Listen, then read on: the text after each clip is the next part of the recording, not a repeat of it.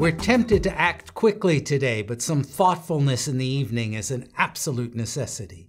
I'm Jeff Jawer. And for Planet Pulse on this Friday, August 23rd, I'm Rick Levine with the moon moving into Virgo later today, and that really does quiet down the moon's jump into Aries earlier in the day. Yeah, that Aries moon wants to jump, wants to live in the moment. Ready, but, fire, aim. Do but, it now, ask questions later. Right, but interrupt. But Mercury goes into the most analytical and the most critical sign of the zodiac, Virgo tonight, and that really involves some mental cleaning up or possibly some backing up. And I think there's also some relationship awkwardness coming in other forms as well. Well, yeah, and I, let me just stick on that Mercury for a moment because Mercury's move into Virgo is Mercury's move back into a sign in which it feels comfortable. It's a home sign for, for Mercury. And so Mercury picks up on the analysis. The sun just moved into Virgo a couple days ago, and now there's that sense of that focus and yet the juxtaposition of that to the Aries moon is rather